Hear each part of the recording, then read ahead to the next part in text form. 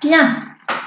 Alors, on imagine qu'un enfant est venu à l'école avec 13 bonbons, qui sont ici représentés par les perles, et il va partager il va partager ces 13 bonbons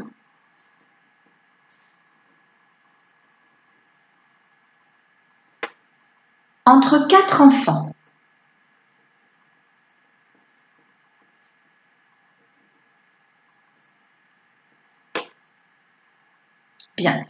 Donc je dessine ici les quatre enfants.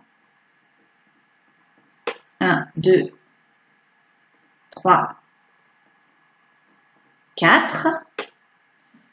Et donc, on va partager les 13 bonbons entre les quatre. Il commence par faire une distribution de un bonbon à chaque enfant. Vous voyez, je prends ici les bonbons. Voilà. Et il a donné un bonbon à chaque enfant. Ce qui fait que dans le paquet, ici, il m'en reste 13 moins 4, ce qui fait 9. Il a encore 9 bonbons. Donc il peut encore faire un tour de distribution et donner un bonbon à chaque enfant.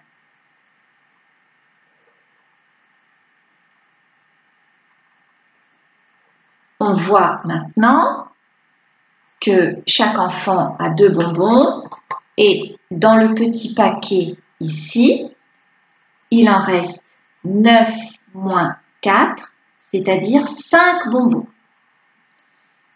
Avec 5 bonbons, il peut faire encore un tour de distribution. Il donne à nouveau un bonbon à chacun des 4 enfants du groupe. On voit que maintenant chaque enfant a 3 bonbons et il n'en reste plus que 1. 5 moins 4, il n'en reste plus que 1. Donc là, il ne peut plus continuer sa distribution. Donc qu'est-ce qu'on peut écrire?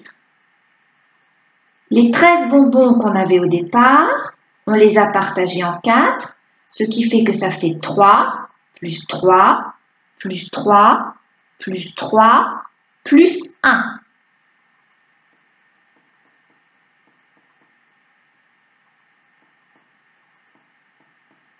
Bien.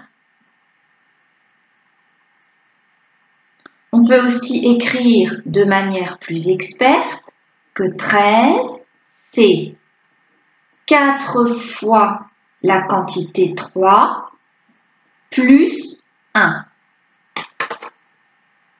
Chacun des quatre enfants a eu 3 bonbons et il en reste un qui n'a pas pu être distribué.